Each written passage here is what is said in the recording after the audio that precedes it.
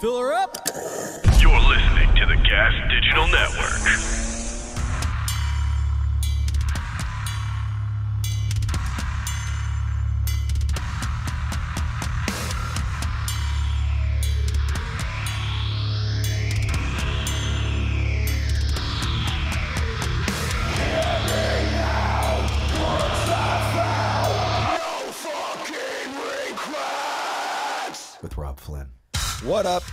What up? What up? Podcast party people. How you doing? How you living? You feeling good? You feeling alive? Spicy? Fresh? I'm feeling pretty spicy. I'm, fe- I'm feeling pretty fresh. My hair's not fresh. I'm, I haven't washed it for a couple days, but the rest of me's spicy. I'm in a spicy mood, God damn it! Spicy mood. A little agitated, but you know, it's probably all good. Agitated with one of my band members, but just let that one slide. Just let that one go. Someone's on my shit list, though. I'll tell you that. I uh, I'm hanging out here on Twitch. I got my Twitch channel up. If you're on twitch.tv forward slash Robb Flynn, I'm doing my podcast intro. I don't really do the podcast on here because it goes on to Gas Digital. And so I got some good news in regards to that. I got some good news in regards to that. Everybody been complaining, dude. I can't find your old podcast. Where are they at? And I've been complaining because I want all of my podcasts up. And Ralph Sutton, the head of Gas Digital, or one of the heads, at least the guy that I speak to, the main man, the, the CEO, the boss man, he has agreed to have all of my podcasts be live on YouTube. They're not going to be live on audio but they will be live on YouTube. So if you want to check them out, they're all up there right now as we speak. All of them. And if you're one of the people that you know listens to it, which meant you know about 50% of you actually listen to the podcast, not on YouTube, but you go to Apple or you go to Spotify. If you want to, you can head over to Gas Digital right now and enter code NFR no fucking regrets, for a free seven day d- trial. Download every single audio thing that you want, audio podcast of the no fucking regrets thing, and then cancel your subscription. It's that easy. Just sign up, fucking download whatever you want to, and cancel it.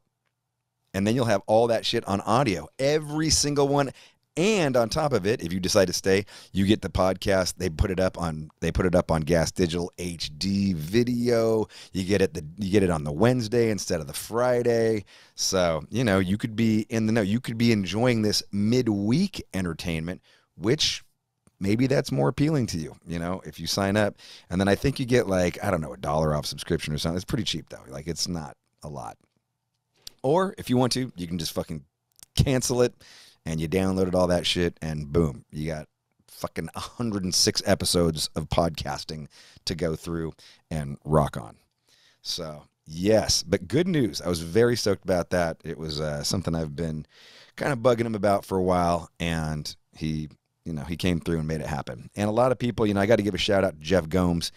Jeff Gomes is a homie of mine from way back in the day and he was just like, "Dude, I'm dying." He was like, "I didn't even know he listened to my podcast." And he was like, dude, I fucking love your podcast, but I can't find any of them. And then I go back. A lot of people complain about, you know, the the Jamie, the not Jamie Johnson, the Joey Jordan, Joey Jordison, not Jamie Jordanson, Joey Jordison, and the Dimebag one. You know, people listen to those ones a lot, and they, uh, you know, they go back and refresh on it, and you know, it's. I think it's cool that they do that.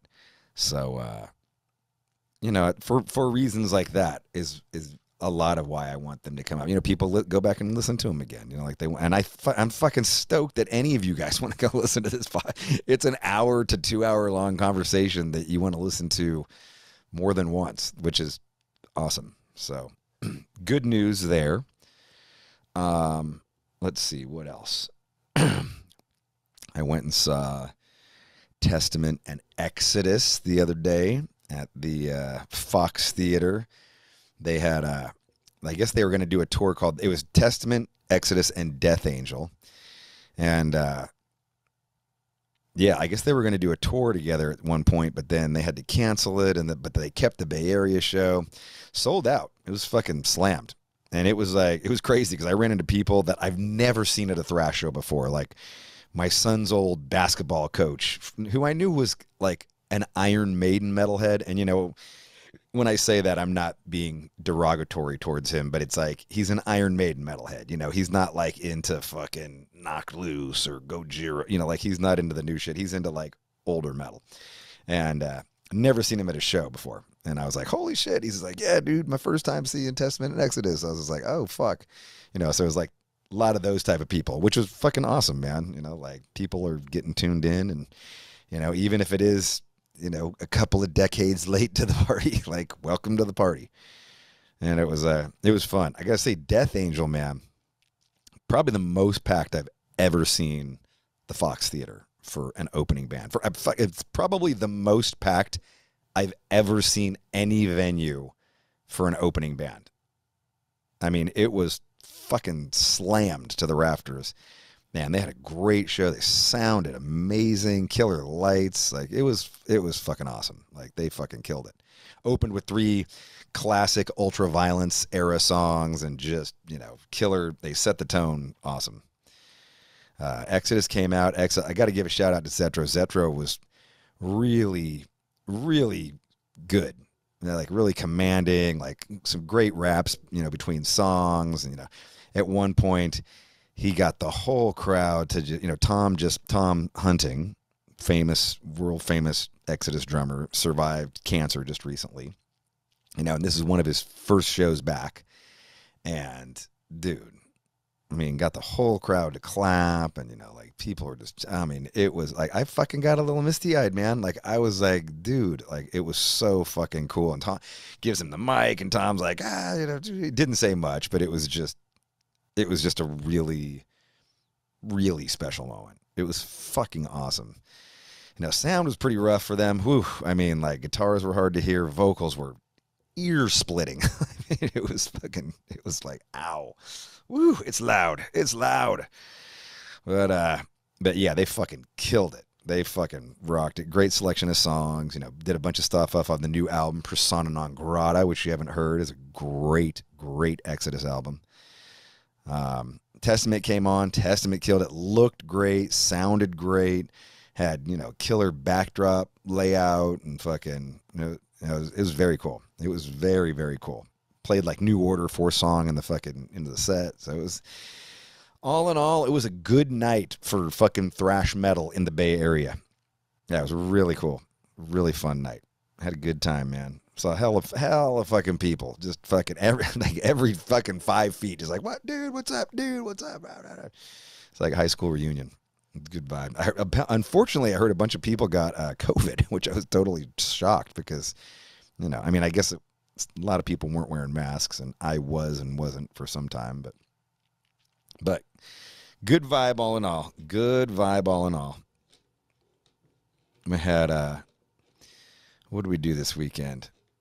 Oh, my son had a cello performance. Friday night I did the happy hour, and then after the happy hour I went home to uh my son had a, my youngest son Wyatt had a cello performance with his uh, school, and that was awesome. It was really cool. He did a uh, he had like um it was so he he does he's in two things in his school. He's in two bands basically in his school. He's in like the the string band and then the string orchestra band, which is another band, and then he has like a volunteer thing that he does on top of it. That's just like it's not even extra credit; it's just extra, um, just extra. It's just volunteering to do extra music because he's really into it and loved it.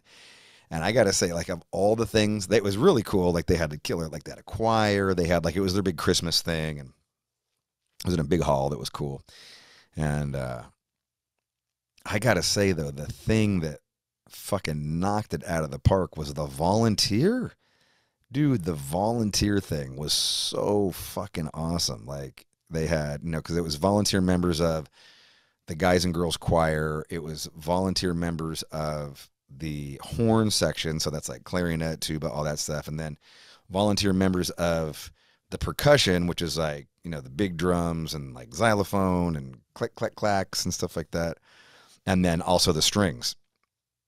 And you know, I've seen him do the orchestra thing a couple of times, but I don't believe that I saw him do it with the horns before. Like I don't think the horns were ever there. And man, hearing that whole thing with the horns was fucking awesome, man. Like it sounded like a movie score. Like it was crazy. Like it was it was awesome. And the kids sounded really good and you know, they're freshmen or I think I don't I think the, the grades are mixed, but he's a freshman. And uh, yeah, it was really cool. And then we kicked and then we went home. And my dad came out. My dad came out and uh, he spent the night because we don't want him. It's too late. Like we, the whole thing ended at like nine. We don't want him driving. My dad got in a really serious accident driving at night already, and it's just too. You know, just can't be driving at night anymore, Dad. And uh, you know, so he just he spends the night now. And uh, we got back, and it was still pretty early, so I was like, "Ah, let's just have a cocktail." And Jennifer's gonna have some wine, and uh, we'll watch uh, we'll watch a movie. And so my dad's like, I'll have a cocktail. And I was just like, all right. So I'm drinking, I'm pour, pour my, I pour my vodka drink and I drink, I drink vodka and Bailey's, which, which I still don't really have a name for. I was calling it a Greylees at one point, goose cream at one point, and now I just, it's just vodka and Bailey's. That's it. That, nothing. It's, that's it. Just vodka and Bailey's. And, uh, and so he has one. And man, he starts getting. I mean, he pours himself a pretty stiff drink. Like I was like, "Whoa, dude!" And I taste it. No, no ice. Like I'm just like, put some ice in that shit. Like it'll be, it'll taste better. And uh, so we go and we sit down. And We start watching The Big Lebowski, which I haven't seen in forever. And I remember that it's funny because the first time I watched that movie, I don't know, I must have been in a shitty mood or something, but like I hated it. I was like, this movie fucking sucked. What the fuck? And then I saw the movie about a year later and I was like, oh my God, this is the fucking funniest shit ever. This money, this movie is so, I don't know why. I did same thing with Fight Club. I saw Fight Club originally. I was like, this movie sucks. And then fucking, I saw it like a year later. I was like, oh my God, this is the best movie ever. Why did I think this sucks?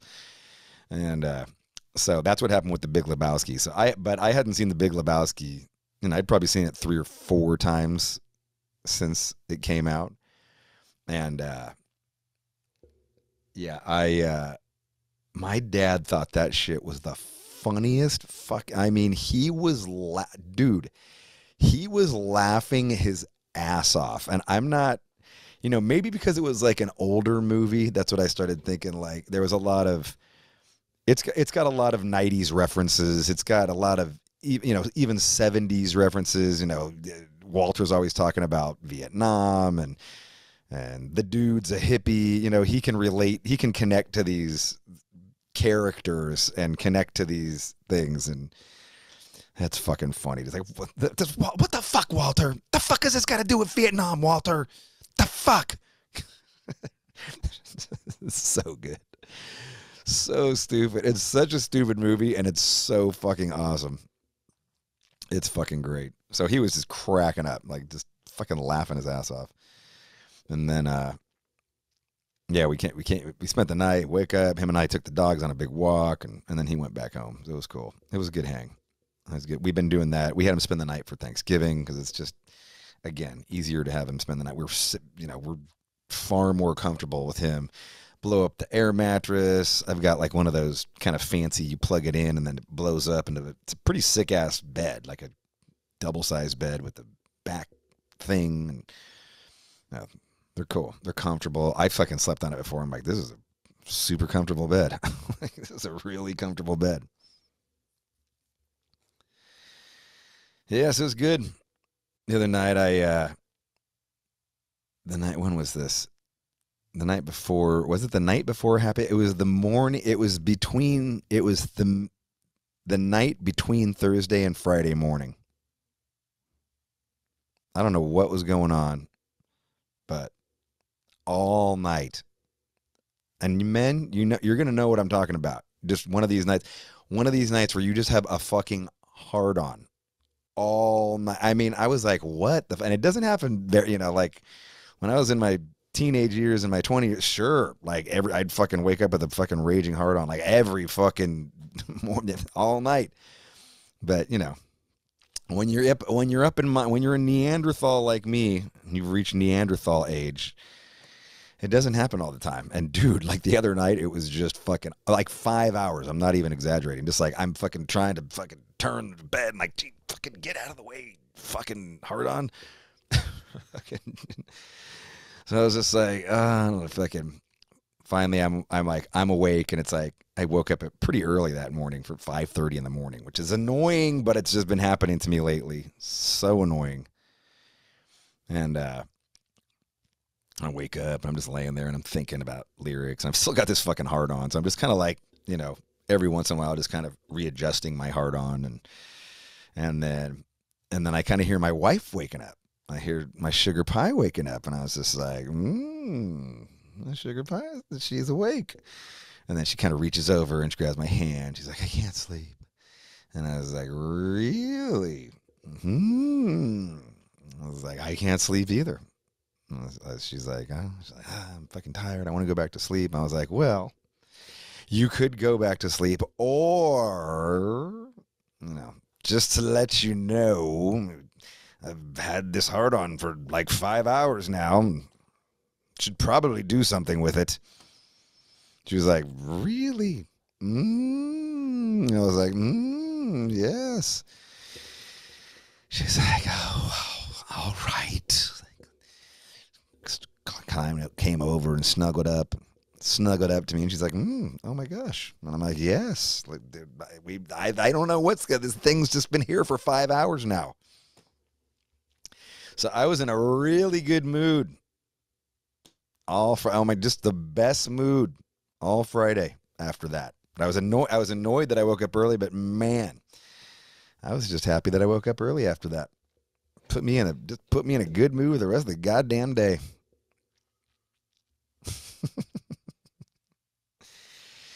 Good stuff.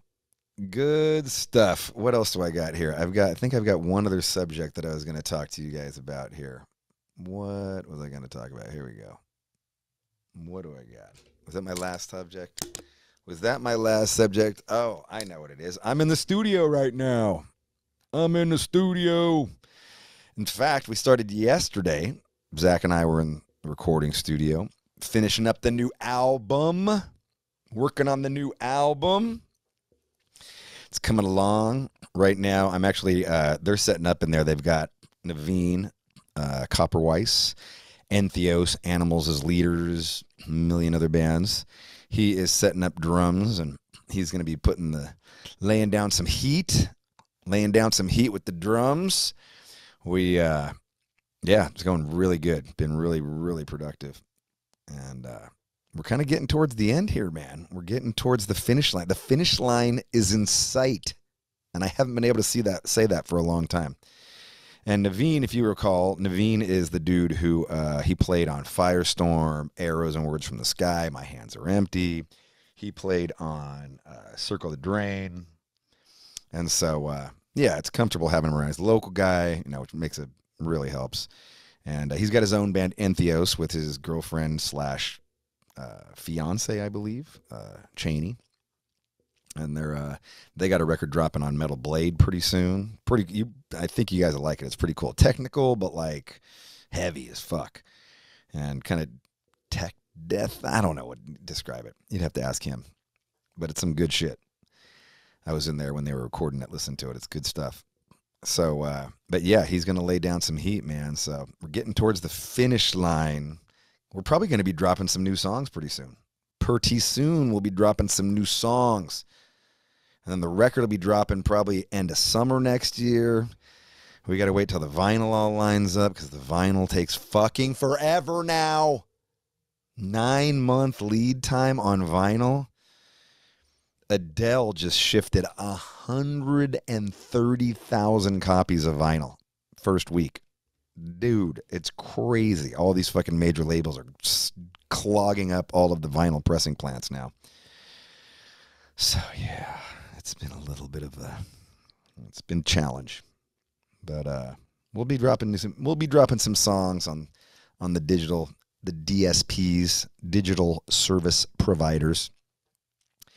Anyway, I'm uh, I'm pretty stoked on uh, my guest here, man. My guests, Peter from uh, Peter and Mikael from the Halo Effect. Super nice guys. This is a great conversation.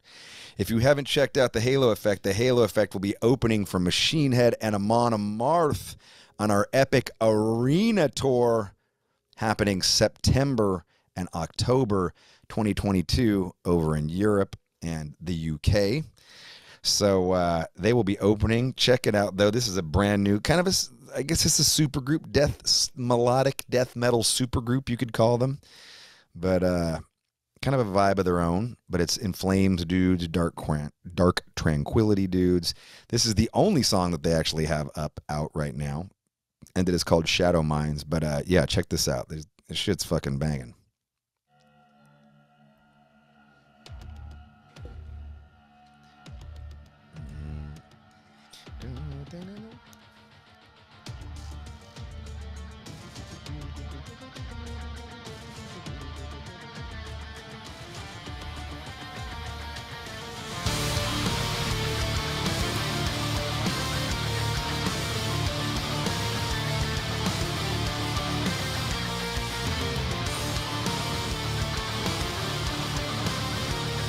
You head over to their Spotify page, they've got an artist pick that looks like uh, inspiration and origins. If you're over there, they've got, let's see, a bunch of early death metal, Merciless, Pure Hate, Flag of Hate by Kreator, Twisted Face by Sadus, Pestilence Song, Slayer Song, Sepultura, Bathory, Death, Malevolent Creation, Necrophagus, Sentenced, Carnage, Carcass, Deicide, Autopsy, Vader, yeah. Some obituary. Sabotage, Hall of the Mountain King, nice.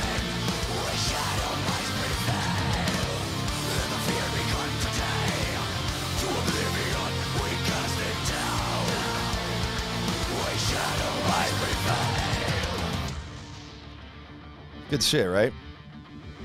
Well, ladies and gentlemen, let me introduce you to Peter and Mikael from the mighty The Halo Effect. Mikael, Peter, how you doing, man?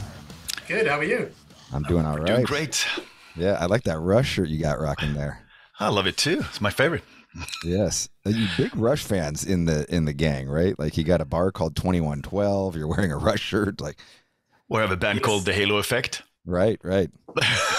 yeah. Is that yeah, so yeah, that? it's a it's a running that theme. that? Okay, Yeah, yeah it's a, a Rush song. is it okay? I wasn't sure if that's where it came It's from the latest album, so it's it's not that deep of a cut, but still Okay. an instrumental. Yeah. Nice. That did help, you know. It had a deeper meaning too, but it uh, it made it easier uh, when choosing a, a title for this band. Uh, I I loved when you came up with the title and you gave us the deeper meaning, and then you ended up, and of course it's Rush song, and that's yeah, of course. yeah, that's true. Just to seal the deal, so to speak. Yeah, Cra- it's crazy that uh, it's crazy to think that Rush will never be around again, isn't it? It is. It is. It's I'm so like happy. I saw I saw them on the last tour. Oh, Ma- awesome. Madison Square Garden. Uh, I'm never gonna forget that. Highlight of my life, maybe. Was that the tour where they did uh, two sets where they kind of had like earl uh, newer stuff in the first half of the set, and then the second half was like all classics, and they had the re- washing it was- machines on stage. Oh, that too. But they also had reverse uh, chronologically, reverse chronological. It was, I mean, they started from the new album and they ended with the first, so Oh, they went okay. all the way back. So every, every two songs, and they switched like everything. So the, in the last couple of songs, they had like amplifiers on chairs, just like they did in the gymnasium when they f- had their first show, stuff like that. Oh, that, wow, that's cool. It was That's really cool. loved it. when was the last time you saw Rush, Peter? uh, it was a long time ago. I think it was back in 2008 or something like that. In Malmö, right? We were there. No, no, yeah, you went to Malmö. I went to Stockholm. Oh yeah, yeah. yeah. Well, I was in Stockholm yeah. too, but Yeah, yeah, but- yeah. Same toy, of course. yeah. yeah. Now that's that's the only one that I saw them actually. Uh, Oh, yeah? But yeah, fantastic band. I never got the chance to see them more than once, but Oh wow. still Yeah. treasure that experience. They weren't here as much, you know. Is my obviously since you went to America to see them, but uh, I don't know. It, Yeah, yeah, here a yeah. of Se- times and- Seventy nine was the the first and last time before they came back in like two thousand and four, Really? something like that. Yeah. Wow. So between Was it that- seventy nine and two thousand and yeah four or five, um, yeah, That is absent from from pretty much Really Europe long too. time. Yeah, yeah, Yeah, I wonder what's up with that. Like, why? That's like almost a thirty-year break. Yeah, I mean, I mean, maybe they weren't. No, the They fans not- weren't they good didn't enough tour when they were. Here. or they just didn't tour. They didn't tour Sweden, or they didn't tour Europe. They definitely didn't tour Sweden, but they I don't think they toured that much in in Europe either. So oh uh, wow, that's and, uh, interesting. And the first time I ever saw them, it's a long story, Peter. Do you want to get into it? yes, I remember. Get it was into actually our we. so I we. do Uh, remember. oh, this this is like it's, it is gonna it's gonna take a while, but it was our first ever American tour, right? So this was in 2002, Okay. Yeah. And, and Dark Tranquillity was supporting In Flames Okay. in America, and we were super excited about it, of course. And you guys had been on tour already, like for a month or so with Slayer and yeah, like right? two two months even. Slayer Soulfly and months, uh. Down the Sun or something, and we ended up. Our last show was in Portland, right? Yeah, exactly. And our and our first show together was in San Francisco. Oh, okay. So so we were flying to San Francisco from Sweden, and but then through a mutual Canadian power trio Rush fan, uh, he mentioned like, "Hey, Rush are on tour right now, you know, in the states, and you're going there. Why don't you go to see them?" And I was like, "How do I, how the fuck do I do that? It's 2002. I don't have a cell phone that works in America. You know, and how how is this going to work?" Right. But then it turned out like, okay, but In Flames actually their last show is in Portland and Rush is playing Portland. And so maybe if I go to that show and then I jump onto their bus and I join their bus down to San Francisco and we start a tour, it should be fine, right? Um, Yeah, that was the idea. So, um, but I, I couldn't get a ticket because my um, credit card didn't work in America for some reason. So I couldn't order it ahead of time. So basically, on the flight over, uh, we had a layover. Like we stopped in in Seattle. I decided like, fuck it, I'm getting another flight.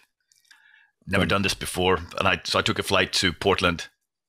Got off, jumped in a taxi, came to the venue, bought a secondhand ticket or whatever, like outside.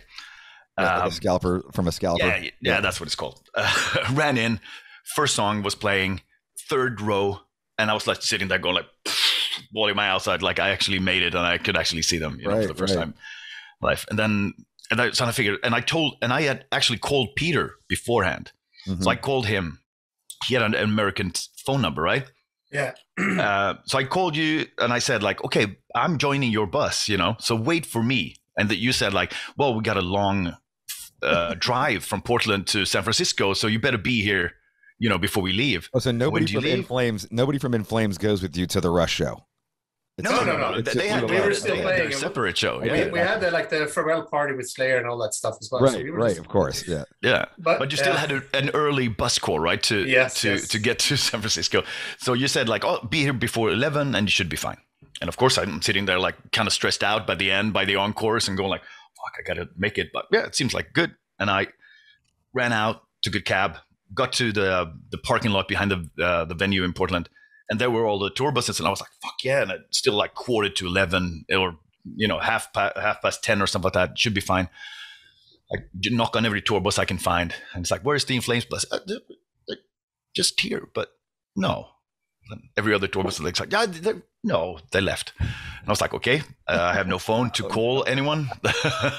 Some someone's uh, tour manager started calling their bus, but it didn't work. No one picked up. I'm like, whew, okay, how, do- how the fuck do I do this? Found payphone, you know, in a, in a gas station. It was super weird neighborhood too. It was tons of crackheads. Yeah, Portland can be gnarly. Like, Yeah. it's got some. It's got some gnarly little weird hippie heroin junkie areas where you're like, Yeah. oh, This is uh, what's it- This it's is my called uh, first- Roseland, I think, right? Yeah, the Right. ro- yeah. Ro- the Roseland, yeah. So that's it's a very interesting neighborhood. Depending oh, on Slayer's playing the direction Roseland. Wow, Yeah, yeah, yeah. that's a small room. Yeah, yeah. And this was my first hours in America ever Mhm. for me. Right. So- Just like So, fresh off uh, the plane. yeah, yeah, yeah, yeah, yeah. And then, um, and I, I tried to call, and I called like all the numbers I had written down on my cell phone that I didn't work, but I could dial in. Peter didn't answer. I got to his uh, uh, answering machine.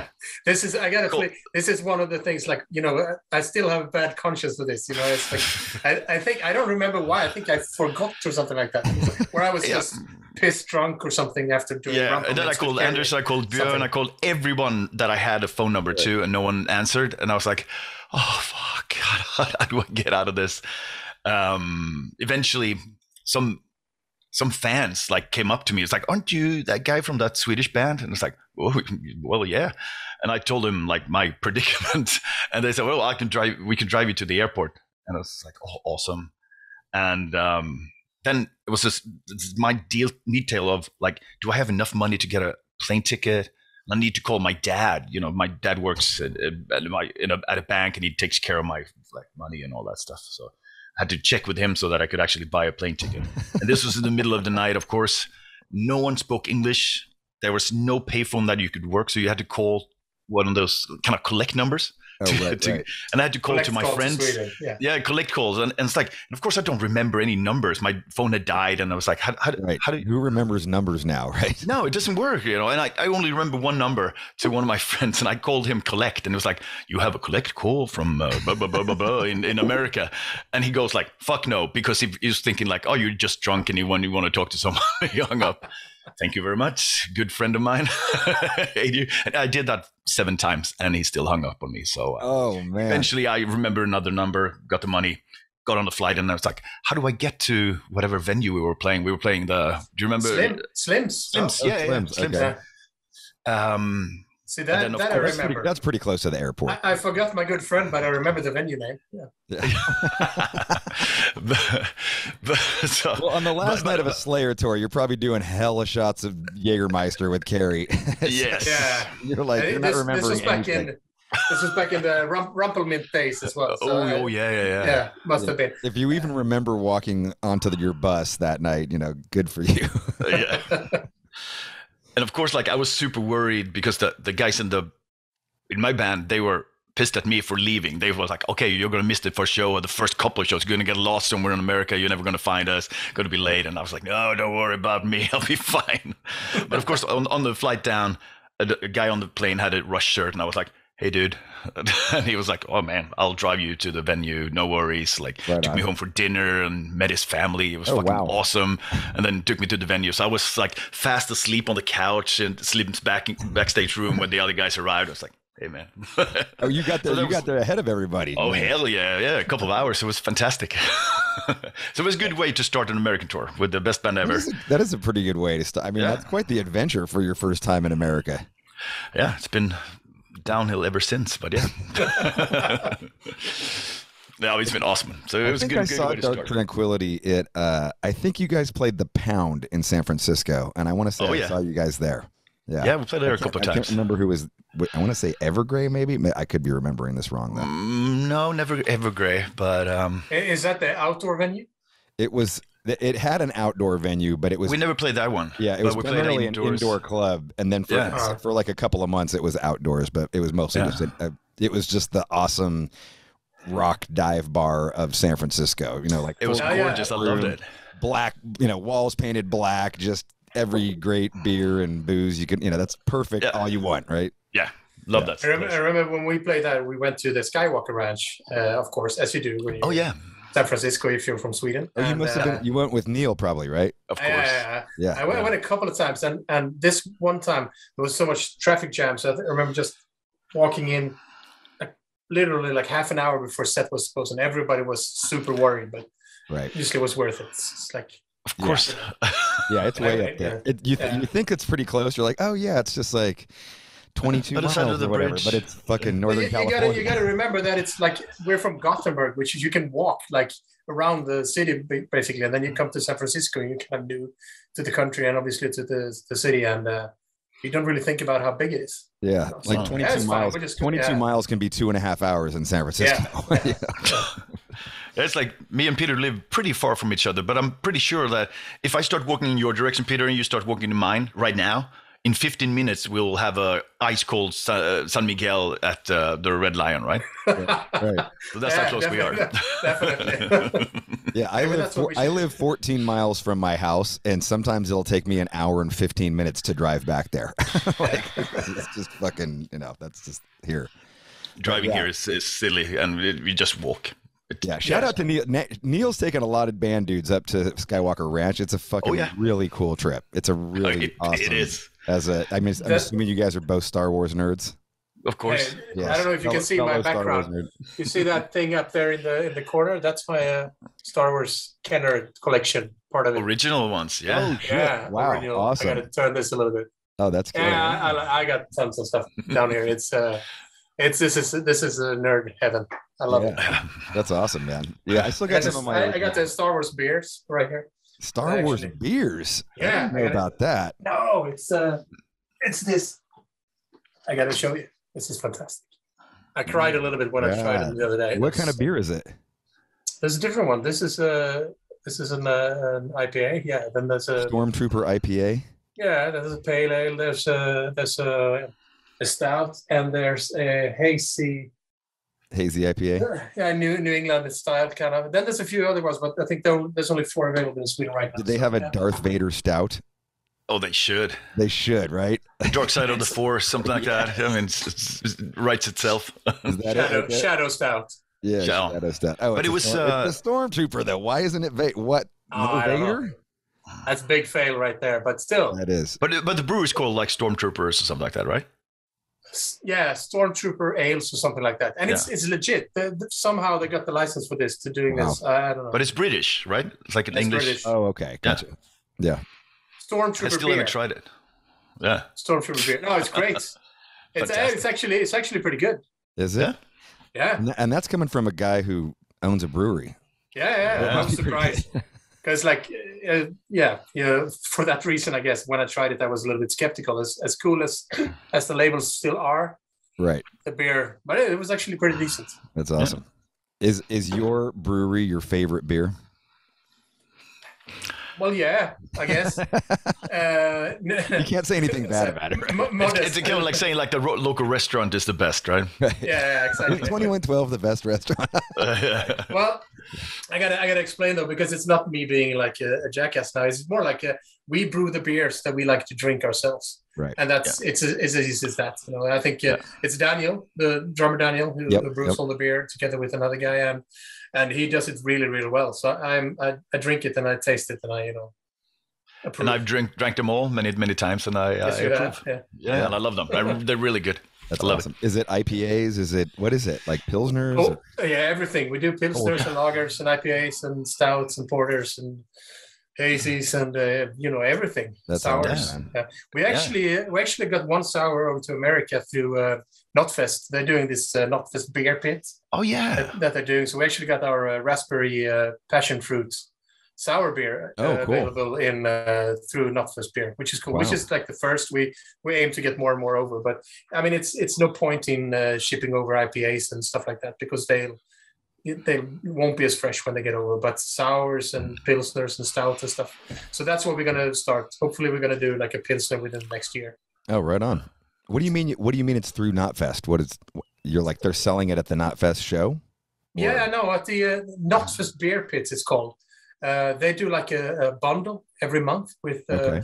four or five different breweries uh, that they consider. From through the I website or through the Yeah, through the vent? through the web- through the oh, okay, website. gotcha. Okay, gotcha. Uh, so it's yeah, just check out the Knotfest Instagram page, and there's a, like a, I think it's their official page. Otherwise, it's Knotfest Beer Pit or something like that. Okay, I, I should be able to look this up, but yeah, so that's pretty cool. That's the first time we actually got our beers over to America. That is fantastic. yeah, Yeah. No, it's through, through, through the official one. awesome. Wow. Uh, Yeah. yeah. congrats on that. That's a pretty big deal. Thank you. Yeah. That's, that's a, I mean, that's a big. I mean, that's got to be like a pretty big goal of any brewery to get, you know, especially overseas, to get their beer into America, you know, and a Well, challenge. Absolutely. I mean, America is where challenge. we uh, just discovered like craft beer to begin with. You know, uh, especially Daniel, who, who was first. He was way before me, but uh, taking us out to different breweries and doing brewery tours and tap rooms. And you guys were way before Sweden. So you know, in order for us to actually get a beer over there, it's a it's you know, life goals. Yeah. Awesome, man. Congrats. Thank you. And congrats on uh on congrats on the Halo effect, man. You know, like you Thank guys you very much. you guys have got the buzz, dude. Like people are talking. Like they're just like, oh my god, the kings of death, melodic death metal are back. Like it's fucking, you know, people are excited. Really excited. You know, congratulations. That's rad. Thank It's you. really cool to Thank see very much. the um yeah, the response has been crazy. It's really, really cool to see that people are really digging it and yeah, we had kind of you know, we, we expected people to like it, but this was kind of beyond our wildest dreams, I think. I mean, the comments in YouTube for Shadow Mind's video are Yeah. just gushing and gl- you know glowing. Everybody's Oh. just like, "Holy fuck!" Like, very, very overwhelmingly positive response. Yeah. For us as well very overwhelming is a great word because like mikael said we obviously we you know we like it and we hoped for for it but being a modest swede you never really expect something i guess you know so when people actually started you know posting these comments and showing us this i mean it's it's it's amazing the response has been amazing so i can't wait to share more music and to actually start yeah we'll go on tour with you guys you know and it's it's going to be a, a great year Yeah. And again, I mean, we're off to a good start, but it can only go downhill from here. I mean, that- that's the Swedish way of thinking about things. yeah Well, after being in a band for all these years, you're kind of like, yeah, like wait till the Yeah. fucking song. No, yeah. I'm sure. I'm sure it's going to be great. You know, like I, Yeah. I think the buzz is there, and you know, Yeah. you've got some. I'm sure you've got some high energy songs going, and great first choice though. Really strong first choice. You know, like It was the first song that we wrote too, like Oh, the, really? that we actually finished. That we felt like, yeah, yeah, this this feels good. Like we're on on, on the right track here. there's something about that, right? Like there's something about that first energy, that first thing that you complete. It kind of. I don't want to say it sets the tone because it can go elsewhere, but it like. But it sets the sets the mood bar. and the Yeah. yeah. the bar. Yeah, that's right. Uh, yeah, I think I think so. And we were like, yeah, this this really really works. Like, yeah, let's keep working on it because this is actually I guess good yeah, and I and I guess we didn't really know what to do at first. Like the, we didn't really have a game plan. It was not like, oh, this is exactly what we're going to sound like, or this is the the idea of the band, or anything like that. It was just like, let's get together, play to our strengths, so to speak, and and make music that we love. yeah Just very simple, straightforward, no expectations, no, um, you know, um, yeah, we didn't have any baggage. You know, you can just like start off fresh, Right. basically. Yeah, you don't have any career that you have to live up to, or a No. previous song that you need to best, or you know. And I, th- and I think that's something actually that we had to remind ourselves a little bit because like especially we were talking uh, before and like you said mikael also that that we just yeah we kind of stopped ourselves like we don't really have a sound let's just see where this plays out you know Yeah. you sing a certain way uh, daniel plays a certain way niklas and jesper play a certain way and me too and, Yeah. Oh. and whatever comes out will be very natural whatever type of music we write can you know I think that that's. uh I think that that is a great way to approach it too. I, I know I've been. There's been times when like. You know, me and the guys would sit down and talk like, "Oh, we should try this direction, or we should go this direction," and like, mm. it never even works out. you know, like, No. it's Yeah. just talk, and you're like, You're setting yourself you up for failure. fu- you just go where the fuck you go. You know, like, Yeah. you know, Yeah. you can you can try and direct it, but like, you know, music has a way of just taking you where it it like. I often look at it like you're getting led by music. yeah You know, you're not you're not controlling where the music's going. Like you're just getting led, and it's just taking you wherever it wants you to go. You get a certain feeling, and I think that's how it works, especially in the beginning, like what the, the songs that Niklas was writing in the studio. It's like you there was a vibe to it, there was like a feeling, and and I so when I heard it, I was like, okay, I know exactly what to do here. Like this is so natural, like this feels like an instant song. It took me a day or a couple of hours just to write lyrics or at least like vocal lines for it, and I was like, yeah, this is it. This is natural, even though we've never written stuff together before. It was just like very much uh, like in the yeah, kind of like in the DNA of of, Yeah, of awesome. us from, as old friends, you know. Yeah. Hey, everyone, let's take a quick break for a word from our sponsor. If you did not know, Machine Head owns and operates 10 Ton Trading Company, the official merchandise company for the band. We make the designs, we source out all of the materials, get our friends and local businesses to print it all up. It is fulfilled by us. Everything is 100% DIY. So if you're buying from Machine Head, your that money is going directly to us. It's not going to some big corporate merchandise company who's taking a gigantic cut of it. No, this is going right to us, and it helps support everything we do, and has certainly been, you know, amazing during the pandemic. So for all the people that have been loyal subscribers here on No Fucking Regrets, if you head over to 10tontradingco.com right now and enter the code No Fucking IN Regrets, you'll get 15% off. That's No Fucking Regrets for 15% off of the entire store. So head over there, check it out one more time. No Fucking Regrets for 15% off store wide. And that's for being a loyal subscriber and listener here to the podcast. Anyway, let's get back to the show. I mean, you guys have known each other for a long time too. Yeah. And I, I don't know if that means that there's a necessarily a chemistry, but you've toured together. You know, you sang on the first In Flames record, even if you weren't in the band. You know, Yeah. like, there's there's something that you're right. Of course, and, and and and what attracted me was that okay, first like cool to to do something together with Niklas. and We never worked together before, and I love him, and we we have a lot of like favorite bands that we love together, and we always awesome. talk about records. Yeah, we always talk about records and music and shows and tours and all that stuff. And um, so when he said like, oh, let's we should do something sometime, you know, and you, you always say that, you know, you go like, oh yeah, it would be fantastic, but who has the time? Suddenly we did have the time, you know, and and it made sense. And um, and then when when he said like, well, I'm I'm thinking about like Peter and Daniel as well. It's like, what? Are they gonna play together again? Like that? I got to hear that. I got to be part of that. You know, it's um, it's a must. So um, I was just only natural and, and kind of cool that, of course, we've been uh, with friends for all this time, but we rarely get to see each other sometimes because everybody's on tour, you know, constantly. Right. So, um, so this was for me, it was like a great opportunity to to do something else and also to work with some of my oldest friends. And I mean, uh, the first D- Dark Tranquillity show we ever did was uh, with Niklas's or- original band Sarcasm. So Okay. back in the day, and this was in '90, I think. So uh, Nice. yeah, so we go back. right. That's killer. I mean, it's so cool. Is, uh, I mean, also what what was so um, interesting to hear now that we're starting to talking to other people is that we have different uh, ideas of how this whole band started. And it, Yeah, yeah, yeah.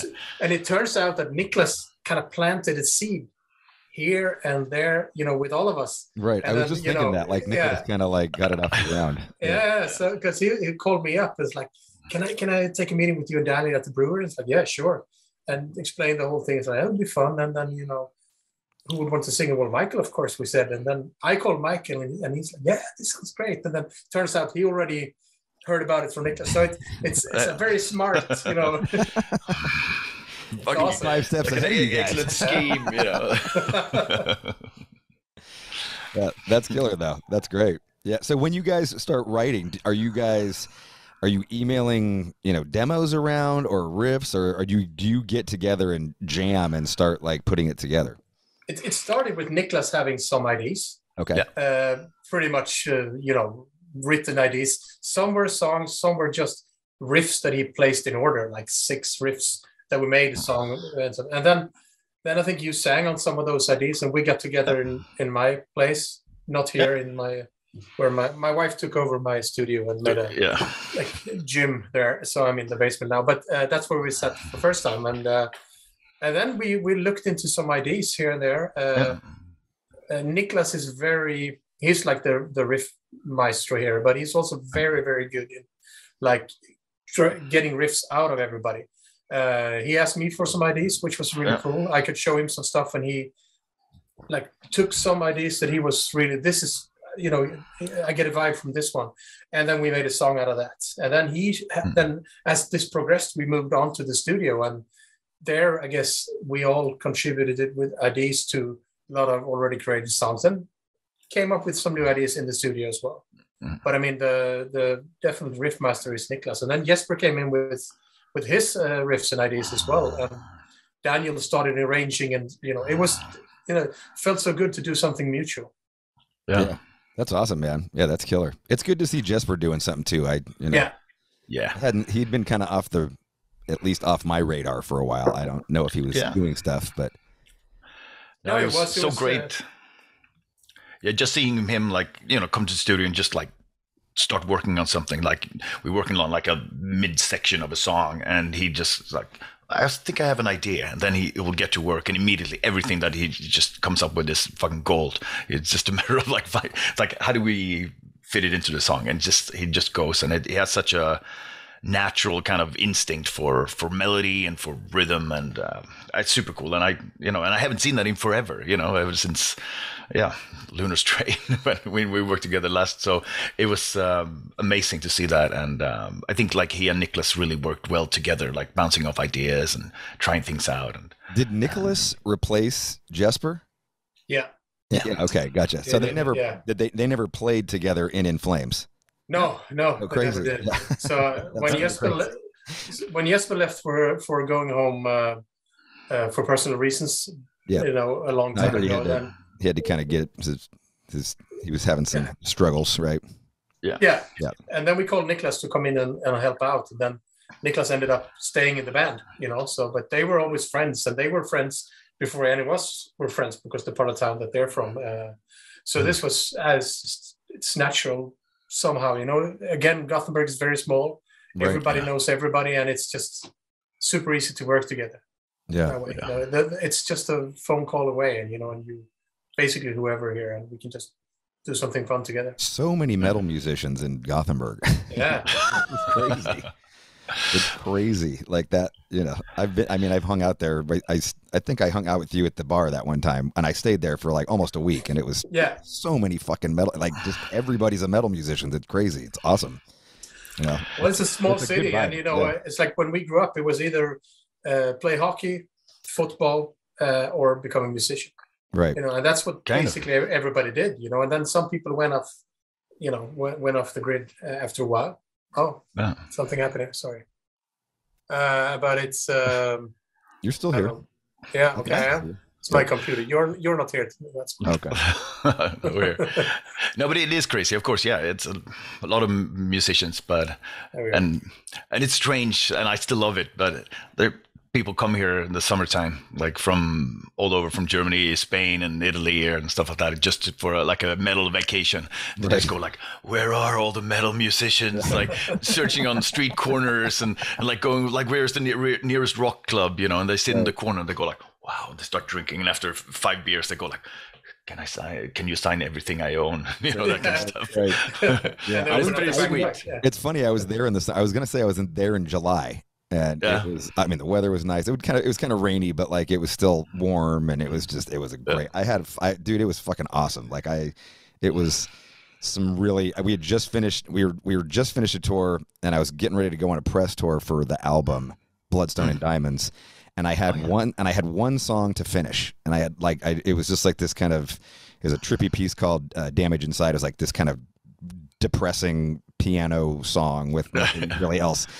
And I was just like, if I'm gonna write the lyrics to this song, like it's gonna be in this city. Like I, would wake up every. I had this artist loft in the hotel, and I'd wake up every day to the sound of, you know, the church or the, you know, the bell chiming, and you know, I'm looking out. It's raining, but it's sunny, and like the gold uh-huh. rooftops. And I was like, this is fucking. So I, I saved it till the day that I had to sing the song.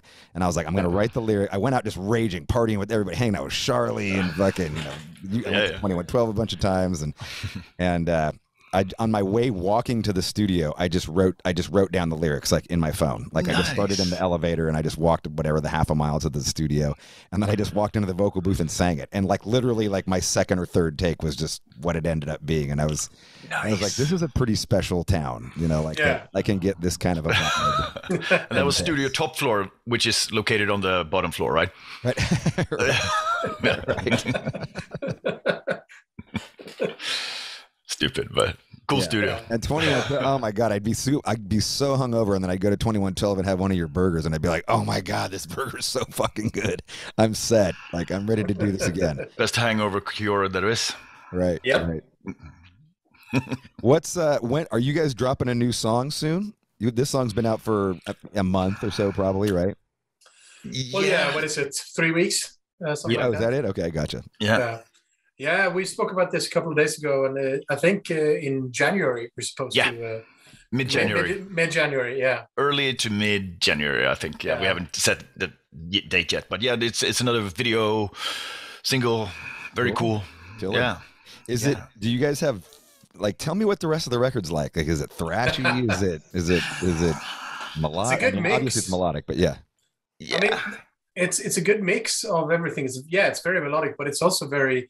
There's some slower songs or more. I don't. I don't want to say gothic, but very. no, but it's groovier for sure. Yeah, groovier. Yeah, uh, and then there's a bunch of faster songs. Yeah. a lot of uh, very. I don't know how to describe it without giving it away, but very rhythmic based songs. Uh, A little bit more modern sounding, maybe, but still. I don't know. It's it's that's that's again back to when we wrote the songs. None of us really thought about how how which style it is, but kind of when when the the Jens from uh, Nuclear Blast went through the whole songs, he kind of described them, and that's pretty much what I'm using now. You know, uh, it's it's a good mix. I mean, it's a boring Yeah. answer, but that's that's how it is. Yeah. Killer. Killer. What? But it was hard- does it was Shadow hard Minds open the record. It does. Or Yeah. does it? Yeah, it does. Yeah, it does. Uh, that's his suggestion. That's Jens' suggestion, and uh, yeah. we haven't. I mean, that's fine for us. Yeah. Yeah. It's a fucking banger. It starts off well. No, it's, uh, it's it's a good mix. I mean, it's um it's ten songs on the album, and um yeah, it goes places. One of my favorite songs is is one of Jesper's, and it's super fast, and it it has string a little string intro, and then uh, a super special guest on there. I'm, I'm not Oh, allowed to uh, talk about yet, but I, I almost did. Uh, but it's uh, no, it's it's it's going to be super cool. Like it's um, it was fun to put together because we recorded um, like we did like two demo sessions, uh, three songs each, and uh, songs were all over the place. We didn't really know, so we consulted some of our friends who kind of sat sat with us and listened to it. And it's like, how do you feel about this? Like, what's the best songs? What should we focus on? Like, where should we go? That kind of thing. Like the whole band sat down with some of your friends and just like played it. yeah. Oh, that's yeah. cool. And, you know, friends who are also journalists and or super music geeks. You know, Right. Right. Uh, who, who we knew was it was it like friends or was it other Friends. bands? no friends. Okay, so it wasn't like you didn't sit down with In Flames. no. that would be weird, right? Like, like, all right. No, so, so, but it and that kind of You said, gave was us one like of them a, Martin Carlson? Did you sit down with Martin Carlson and ask him? uh, No. but, but two of his colleagues. So yeah. okay, got Yeah. it. Good. Yeah. Yeah, d- Yeah, don't, so yeah, I don't, guess- don't sit down with Martin. He's the one Some- who some like, says he he- was the he's the one who gave Saint Anger a ten out of ten. Okay. He's gonna hear that for the rest of his life. That's for sure. He'll never live that down ever. He, he lives in Spain now, so it's maybe that Oh, shit. he, Okay, he, gotcha. he, he moved away from uh, from all this critique of his. Right on. No, but he's good too. But he's yeah. No, he wasn't there, but he would have loved to. I think. Yeah, awesome. I love him. He's fucking hilarious. Yeah. Anyway, so that's cool. That's cool though. Like, I mean, you Yeah, get some I great. mean, it's fun to do that to, to get some feedback, you know, uh, because at that point no one had heard anything, and we were just like working in a vacuum. And you're you know. there are are shows ha- like there's not really a way for you guys to play these songs in front of an audience at the moment because of the No, pandemic. no. Yeah, right. No. well, because of that, and also that we've never rehearsed. So- No, we never- No, we We've still never haven't been in a a room band. together to play. Okay, gotcha. we're gonna we're gonna try that soon. I mean, it, Yeah. it seems Yeah. to be a good thing to do. So the vi- the We- we music should- video is probably the first time that you're all jamming like as a Well, band. right? we were laughing about that. This is as close as we've gotten to a show, like uh, to rehearse. Uh, It's crazy. Wow. All right. Good deal. yeah, it's a little bit different, but yeah. Yeah, but they, they got together also to choose like uh, how they would, uh, which single they would uh, choose first and stuff like that. It was because we were so in it. You know, it's Yeah, hard yeah, to be ob- objective when you you're Right. like have your nose and everything. No, that was smart, man. That's smart. You know, you got to. It's good to get some outside feedback and just. I, I, I tell you, man, there's been so many times when I just played a song for a friend and like just watching my friend, I was like, I'm going to change this part. Yeah. Yeah, yeah, yeah. Like, this yeah. is too long or, you know, fucking, this is not working or whatever, you know, like it's, it's good to get that feedback. Absolutely. Yeah, and you, you actually, I mean, I, I feel like you you try to you you become good at listening vicariously through someone else's ears, so to speak. Like you, it's like how do- how would I listen if I was not in here, you know, if I didn't do this, and um, that really helps, I think. And uh, as you say, like uh, yeah, maybe this part needs to come out, or oh, this is not working, you know, that kind of But thing. yeah, just by, like you said, just by watching somebody listening to your songs, Yeah, you kind of know, oh, okay. Yeah. Or sometimes I- I'll be like, sometimes I think a song's good and then I'll play it for somebody and be like, dude, this song's amazing. I'm like, really? Oh, okay. Like, uh, yeah, yeah, yeah. I'll, let me think about this some more. Okay. I didn't. you But. I think like what we were looking for is, is that some of the guys were like, oh, hmm, I could go for a beer right about now. And then it's like, yeah, that's the feeling we want you to have, you know, when you listen to this. Right, right. Huh. Awesome. No, that's I'm excited for you guys, man. That's pretty cool stuff. You know, re- you haven't rehearsed yet. No, hell no. Is there any plans for why? Why haven't you rehearsed now? You got a record done. Like you got to start rehearsing now. Well, I, I guess this is just because we we uh, started this whole thing up uh, from a different angle. You know, we just sat down and played each other ideas, and then then we had access to a studio where we could actually record the the demos proper, and ended up doing the whole album in that studio. So Right. I, I, that's that's why you know. Yeah. It's um, and also a lot of times, uh, me personally, rehearsing too much can destroy an idea for me. You know, if you play it too much, I really like just recording it and then leaning back and feeling it. Right. Otherwise, you might overwork it a little bit. Yeah. That is kind of like it is a modern way of doing things, you know, like as opposed to how bands used to do it. You know, like yeah, I find that we do that. We, you know, for the last 10 or 15 years, we've done that more and more, like finished songs in the studio or even written songs in the studio, finished it. And then now you got to learn how to play it. like when you Yeah, start oh, yeah. rehearsing for the tour or whatever. Yeah. It's, a, it's, a, it's cool though. What, um, so what- what's the plan for like a live, are, are, is there sh- live shows happening in uh, Gothenburg now? Like, can people Yeah. play? Like, yeah. Yeah, everything is pretty much open. Like we, we're going to get, yeah, you need like a vaccine pass from tomorrow, I think. tomorrow, Uh, tomorrow, yeah. Yeah, in order to, to get into a venue uh, that is above more than 100 people. But it's, it, I've been to shows. I've been to many shows. It's been fantastic. Like I, I've been fucking ecstatic. Right. It's, it's been so cool. And Is it uh, is it uh mostly Swedish bands touring right now, or is it international bands? It's international international bands, uh, Okay. definitely. It's everything. Yeah, yeah. yeah. Um, But I mean, every, so much has been cancelled, but the few that I have played are actually, actually working. So I, I saw like, what's it like? Steve Hackett was here. I, s- we Yeah. saw like Front Two Four Two. I saw. What did I see? Oh, Evergrey saying that they are from here. Cool. I went to uh, I went to the Hardcore Superstar and actually made my way to the front and like really, you know, moshing. Yeah. It was nice. it's great. I haven't I haven't done that in years. I'm usually the guy in the back next to the bar, looking, you know, Right. having a beer. You need And to now blow, it's you like all need the way, blow off like, some steam. yeah. That was great. Yeah. That's awesome. I took my uh it is great, right? Like it's fucking fun to go up front and headbang. yeah. but, but one th- one interesting thing that I discovered, I, I've noticed that on a couple of shows last year, but it's like as I was like moving my way through the audience, trying to make my way to the to the front, people were like knocking on my door. Excuse me, this is my spot. What? yeah. Say what? This This is is like, like, this is this is a show. You know, Yeah. you don't have a spot. It's like you're standing up, and it's like, no, I was standing here. No, it's, it's that person who has forgotten what it was like to, to be at a show, like Yeah. just because he's been home for two years. right. But we were just deciding. I looked at the friends, and we were just laughing. It's like, okay. We just- it was I- weird. I, I never, you know, it's yeah. Things Do have you think changed. that you- Times do are changing. Do you think that you went up front though because the pandemic and you've been locked up and you this is like you're finally like I need to just blow off some steam Yeah. and fucking Uh, absolutely. I mean, I started up. This was at Pustervik. I, I know you played that venue when you did the. I think it was the last Gothenburg show you did when you the rock uh, candy or something it's called? No, the the uh, yeah, an evening with you did that right. Okay. Yeah, Oh, yeah, right, yeah, right, that's right, yeah, yeah. That was I know what specific. you're So- so we we uh, started up uh, up at the balcony, went down to the bar again. You know, went to the corner a little bit, had a beer, and was like, fuck it, and then we just made our way to the front. It was it was amazing. And Yeah. then I just really, like you said, I realized I, I needed this. Yeah. Uh, Scream and sweat and just you know do it. It was amazing. It, it, I tell you what, I I was I was much like you, like not going to you know if I go to a show, I would kick it in the back and you know Mm. just hang and you know I don't want to Yeah. for no not because I'm like too stuck up to go to the No, front. same here. I don't want to get fucking hurt. I don't want to have to take fucking selfies with everybody. You know, like it turns into Yeah. like that kind of thing. Yeah. And uh, System of a Down and Korn came through uh, about a about a month ago, and my son, both my kids really love both those bands, and their best friend is a gigantic Gigantic Korn fan. Like he's, you know, Oh. they're 17. You know, this is they've never seen Korn or System of a Down, and it's at the at the arena.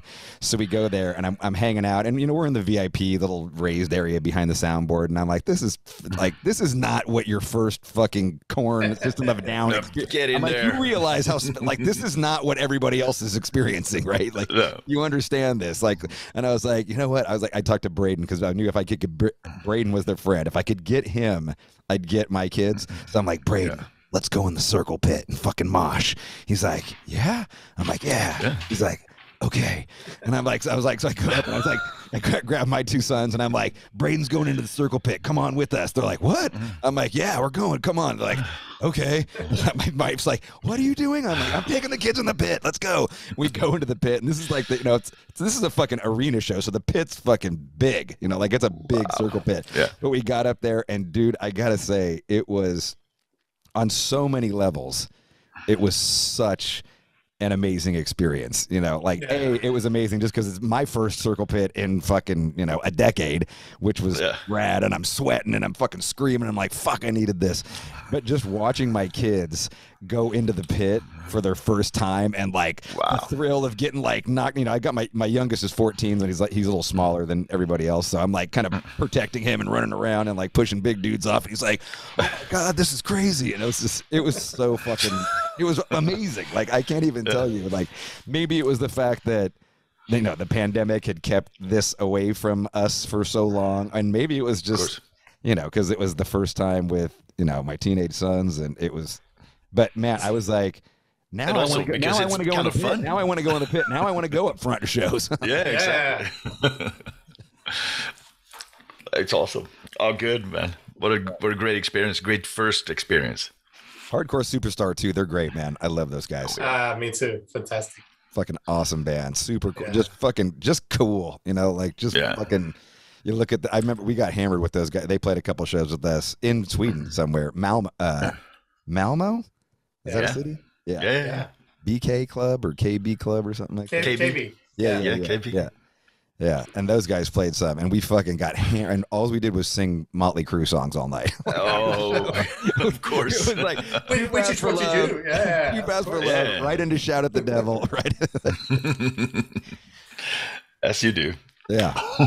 You know, tell me about um you know, I got a couple of questions. I did this thing last week with uh, my fans when I was uh, in the intro, and I was talking about how I had just listened to the new Metallica podcast. Metallica has a podcast where they're Oh yeah, yeah, yeah. talking about you know early days and it's, pre- it's pretty cool. It's a really you know it's well done. It's you know a little edited, a little weird, but uh, but at one point Lars was talking about um, Lars was talking about the he feels that a lot of times like the reason that people are so uh, indebted to Metallica or even just any band is that like the first time you have sex like you've got this music playing in the background he's like dude so Oh, many, yeah. like there's so many people who lost their virginity to Master of Puppets right like and he's just like and so now Master of Puppets is their favorite right? even all these years later Master of Puppets Yeah. is their favorite and so I've been asking you know other guests and I'm like what is the song if there was music playing the first time you had sex and lost your virginity what was the song playing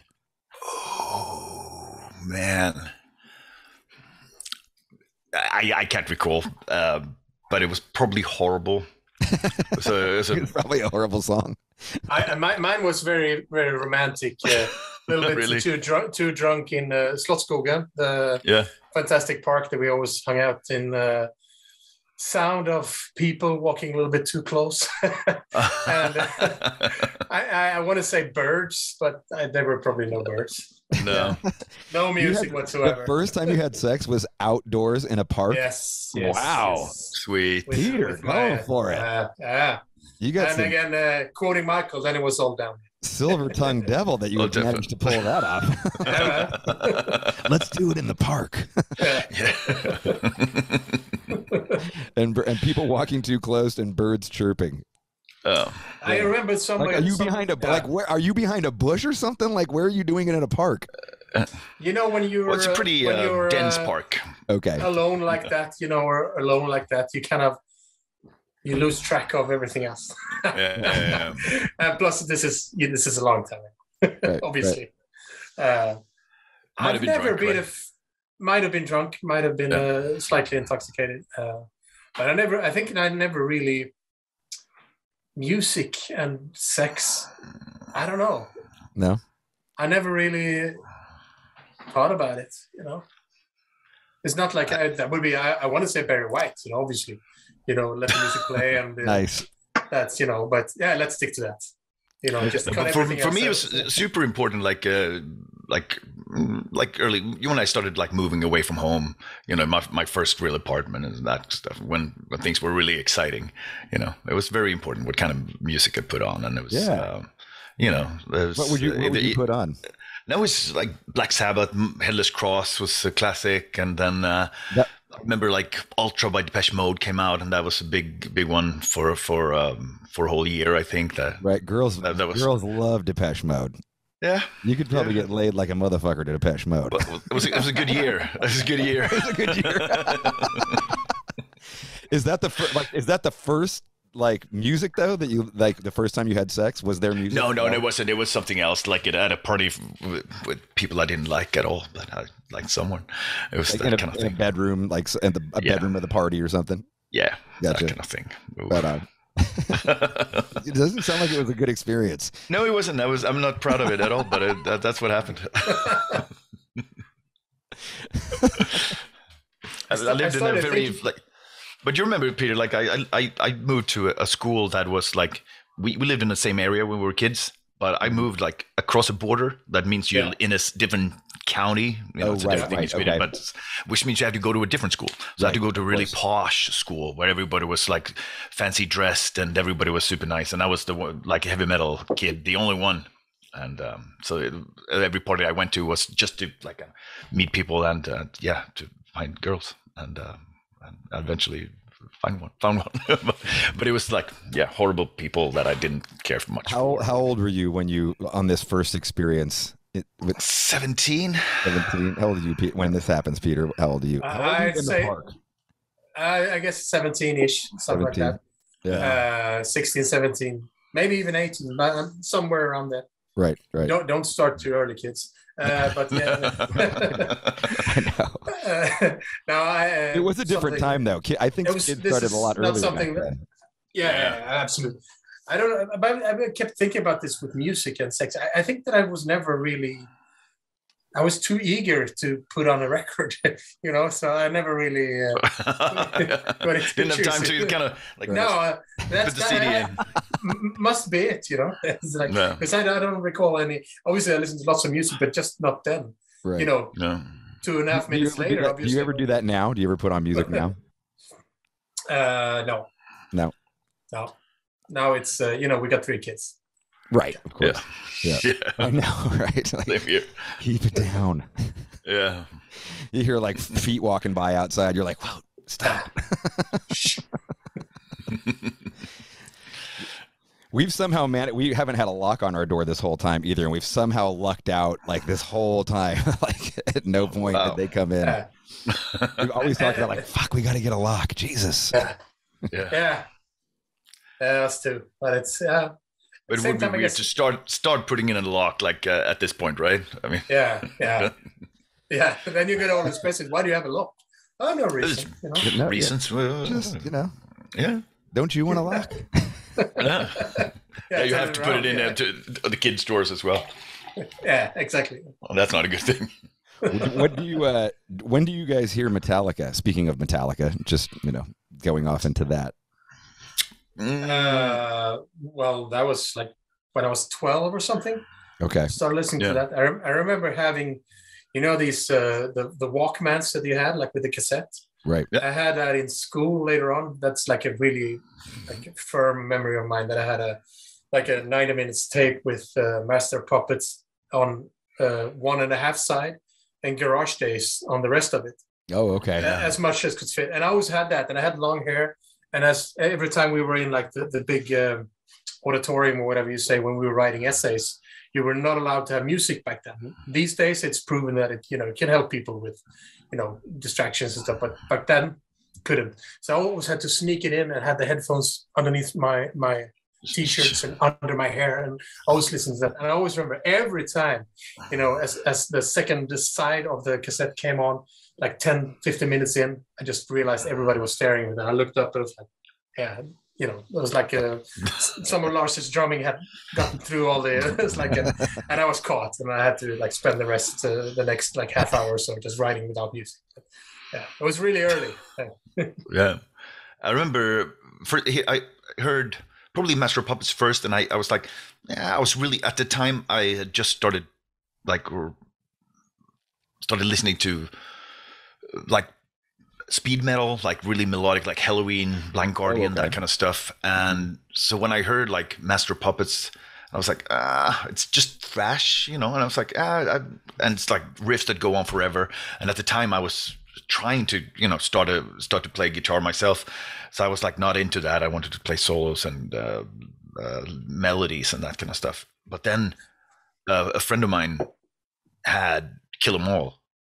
And when we heard that, it was like, all right, now I get it. Now I get it, you know. And then he had um, tons of other like kind of thrashy. He had Exodus, and he had like all all kinds of super cool stuff. And then I was like, all right, now I get, I get it. But I still didn't like like when Justice for All came out. I was like, nah, you know. In '88, it was like Keeper of the Seven Keys was is more my jam back Yeah. then. But but um, but I grew Nice to love record, it. though. But yeah, yeah, yeah. But Right. but it was just something about like just what what, what you want to be as a as a guitar player and a fan uh, and a band, and we wanted to be like melodic and just fast, and and then they were playing like and I much for the same reason I never got into Megadeth or stuff like that, that just because there was something about the way they played that that Mhm. wasn't you know for me. But It's I funny- do love it. But it's it's, funny in- um, in, context of time. You know, I remember Yeah. when And Justice came out. Like people didn't like it. Like people were No. like, "Well, it's," they're like, "It's good." You know, like it's okay. Yeah. You know, Oh. I mean, now everybody looks back at it and goes, "Oh my god!" Like fucking Yeah. timeless classic. One, Yeah. you know, like the production changed. You know, fucking everything. You know, Yeah. the you know doing stuff like what Lars does in one, but but but but but but Yeah, yeah, yeah. like that went on to you know Yeah, Fear holy shit. Factory and you know so much Yeah. stuff. But at the time, it was like, eh, uh, uh, it also kind of shows Where's you how head, headstrong you are. where's the bass? And yeah, well, that too.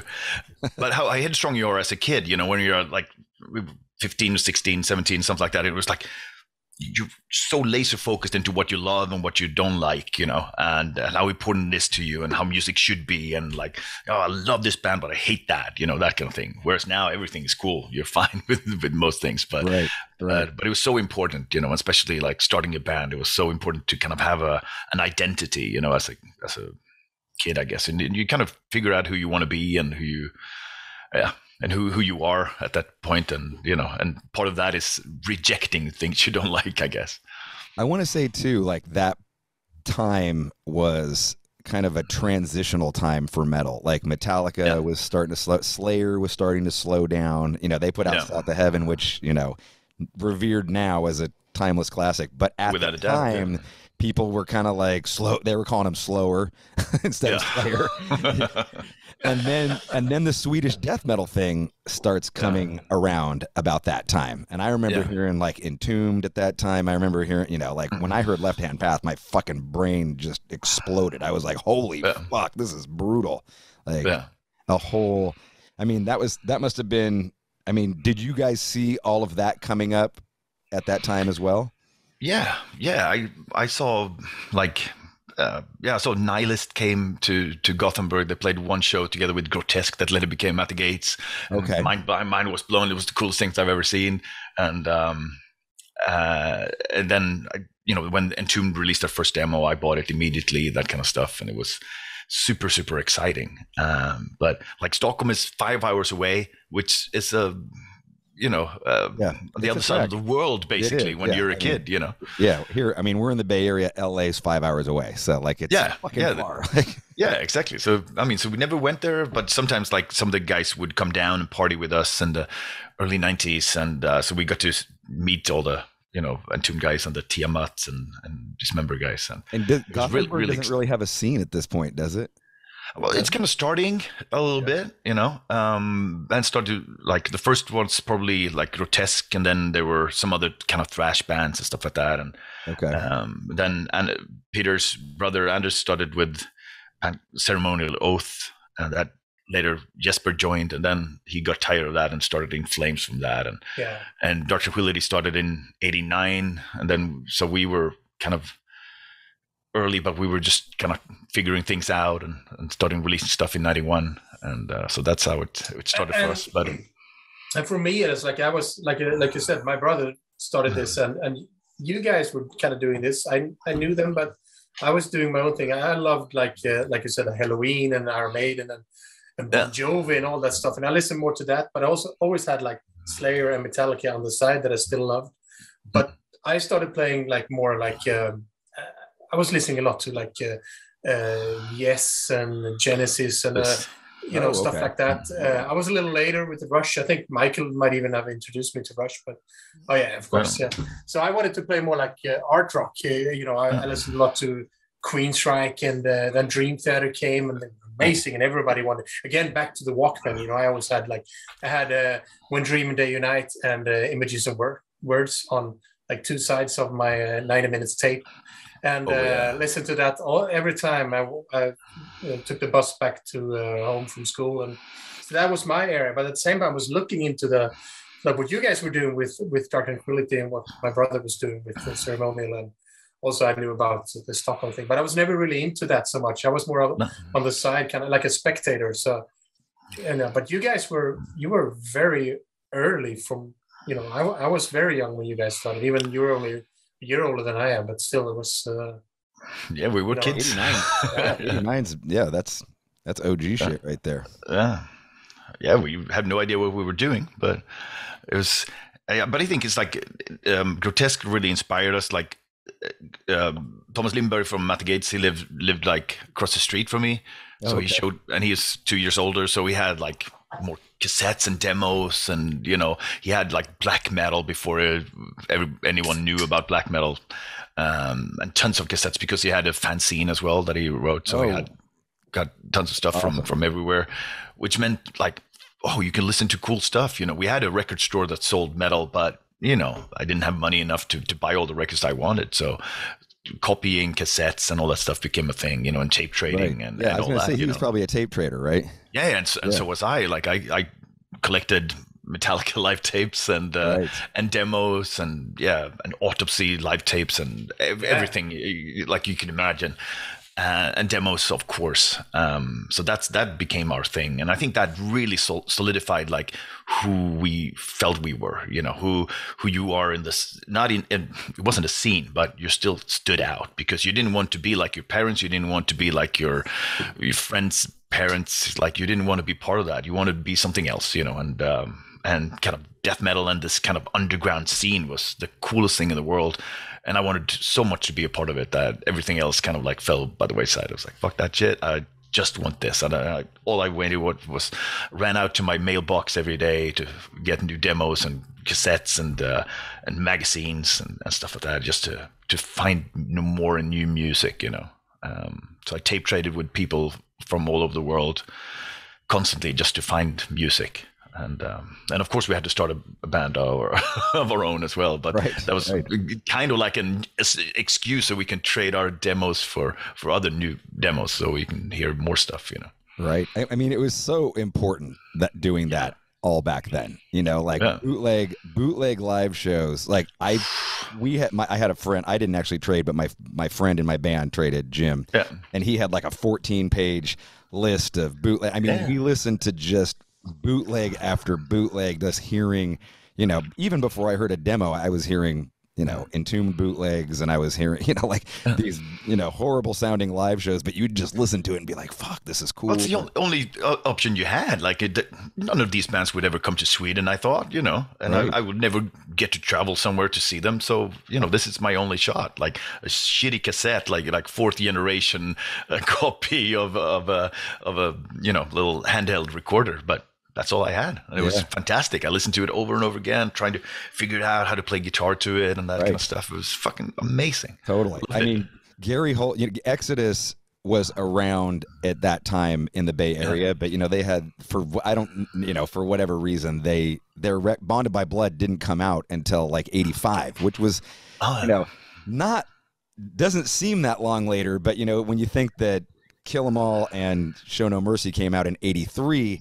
85 is two years later. That's a fucking long time, you know. So yeah, yeah, yeah. but we, but they had all those songs. We were, you know, we were seeing them play all the time. So we had all the bootlegs. I'm literally like we and my first band, we would learn uh, a lesson in violence and Strike of the Beast from bootlegs, and then play it in backyard parties in the suburb that we lived in.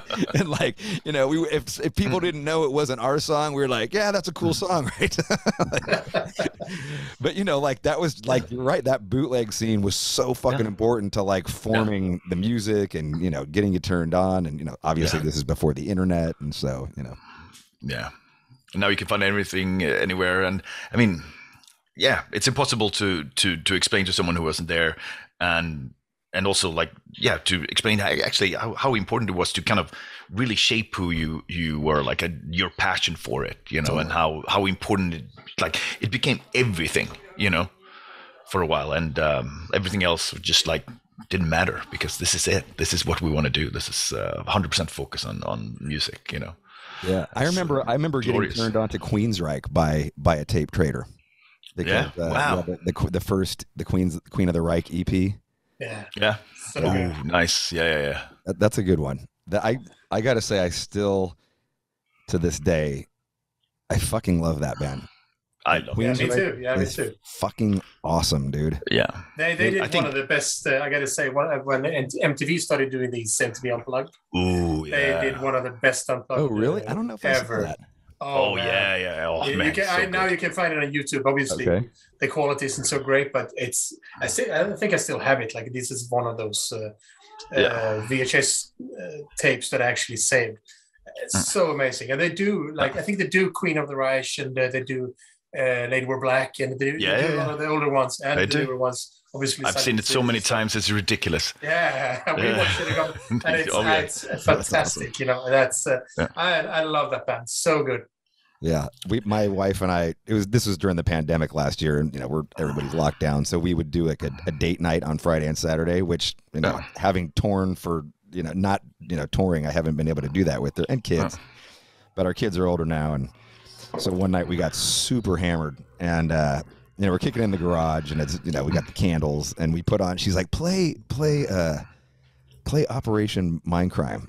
And I was like, I was like, yeah. I was like, because you know, sometimes she just wants to listen to whatever.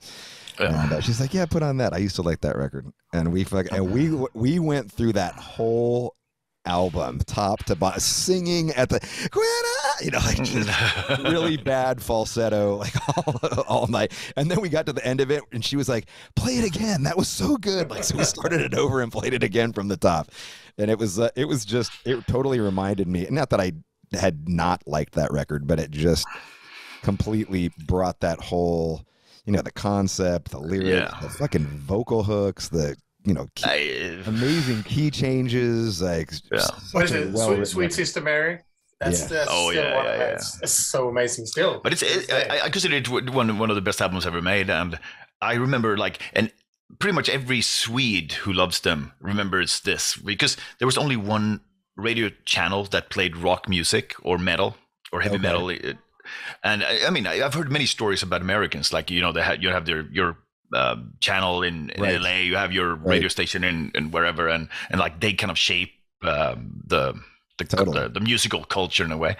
And but here we have a national radio, and that's it. And and there was one hour every day a week. Is that Um, the dude from uh, the Doom band that did that? Um, No, well, uh, uh, Leif Edling, uh, Yes, the bass player yes. from Candlemass, yes. he he was part of it, but he Okay. came in later. But this was so this was when uh, this was earlier, like uh, late '80s, and so so. But in this show, and he was like, "Oh, I have this new band. It's called Queensryche, and they have this. Uh, their second album is coming out, um, or the third, but it was Operation Mindcrime. And he said like, well, if this band doesn't make it big, if this isn't the best thing ever, I'm gonna eat my hat or something like that. and everybody remembers hearing hearing that.